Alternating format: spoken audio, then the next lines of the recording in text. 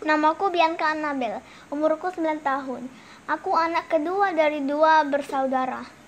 Kedua orang tuaku bekerja di luar kota. Papaku bekerja sebagai hakim di Kalimantan dan ibuku bekerja sebagai notaris di Kemenjahe. Aku tidak pernah marah walaupun mereka selalu meninggalkanku karena mereka bekerja untuk memenuhi kebutuhan kami. Aku bangga menjadi seorang perempuan karena perempuan itu spesial. Dan sebagai perempuan itu kita harus mandiri dan harus kuat. Dan setelah selesai makan aku selalu membantu mamaku mencuci piring.